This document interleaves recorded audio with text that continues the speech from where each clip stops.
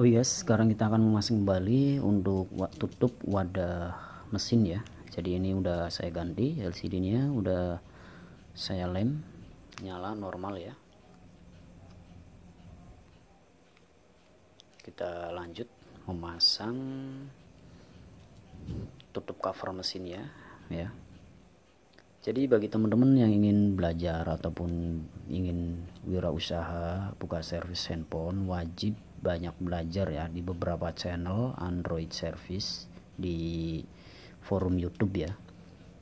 Jadi di channel ini channel itu channel B A Z itu di subscribe aja dibantu like agar dia terus berkarya ya. Dulu saya sama tidak pernah kursus ya guys. Saya sama sekali nggak pernah kursus karena saya minim budget. Jadi saya punya duit sedikit ya hasil dari kerja membuat tutorial praktek sendiri membeli alat-alat sedikit ya. Obeng-obeng solder blower ya Alhamdulillah untuk saat ini bisa menyervis ya. Mengganti LCD konektor ya. Merehot IC ya.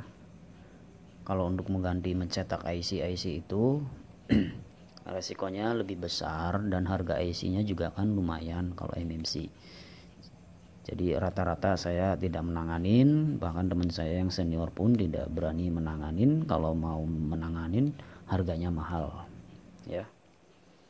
Jadi kalau untuk kasus handphone-handphone Android sekarang teh dia rusaknya hanya LCD kemudian konektor cas kemudian tombol power dan volume.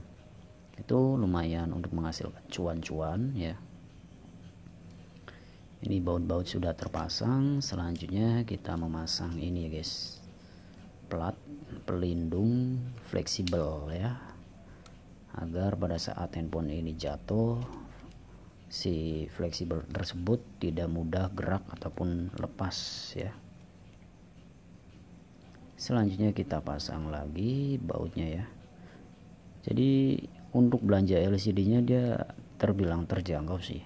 Di angka 100 ke atas kita bisa menjual ulang di angka 300 ataupun dua setengah murah-murahnya lah ya sama masang.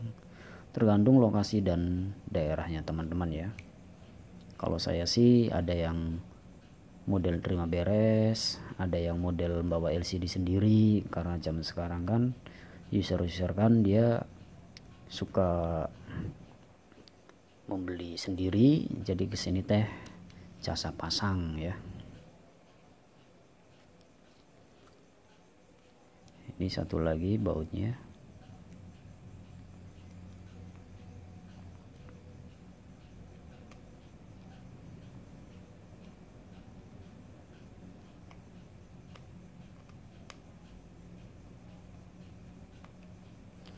Oke setelah baut terpasang coba kita nyalakan lagi apakah LCD nya error atau tidak ya. Oke kiranya aman jadi ada teorinya untuk memasang LCD ya jangan di lem total. Dan di area sini fleksibel yang tipis area jalur kaca pixel itu tidak boleh dilem ya kalau untuk pendapat saya. Itu kalau dilem bisa mengakibatkan pecah atau retak sehingga LCD error ya. Ini setelah baut-baut kepasang selanjutnya kita masang cover ya cover bag ini karena udah lama udah rapuh. Jadi kalau misalkan kondisinya lepas kayak gini jangan sampai jatuh ya. Jadi harus disimpan. Selanjutnya kita pasang untuk tombol ini yang lepas. Ya. Kemudian untuk pemasangan kembalinya seperti ini dimiringkan agar ini ikut kunci ya tombolnya itu. Ya gimana caranya teman-teman pintar-pintar saja